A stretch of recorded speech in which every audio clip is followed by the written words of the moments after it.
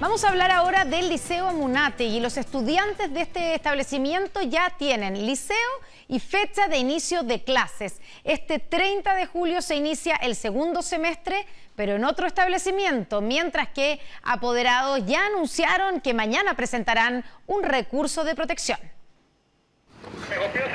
Los destrozos ocasionados hace días atrás y el incendio en la sala de clases provocaron daños que demorarán más de lo esperado Así, los 778 alumnos del Liceo Amunategui, quienes han reclamado para seguir recibiendo clases en el mismo recinto, serán reubicados, todos en otro colegio, por lo menos lo que queda del 2018.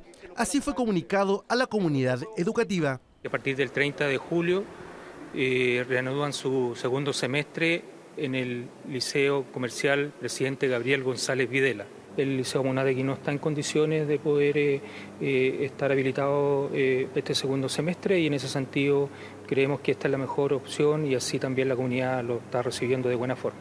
Así y en jornada mixta, los primeros tendrán clases en la jornada de la mañana, mientras que los de la Munategui lo harán por las tardes. En paralelo, apoderados del liceo anunciaron este sábado que presentarán un recurso de protección en contra de la Municipalidad de Santiago por el cierre del establecimiento. Hoy día lo que, nosotros vamos a responder como estudiantes es a seguir haciendo lo que siempre hemos hecho y no vamos a parar porque hoy día nos estén criminalizando o nos estén, eh, como, nos estén cambiando de colegio, no, nos estén reprimiendo dentro de los colegios, porque los colegios lo que más se ejerce es represión con respecto a las movilizaciones que se hacen. Se espera que las coordinaciones con ambos establecimientos comiencen la próxima semana.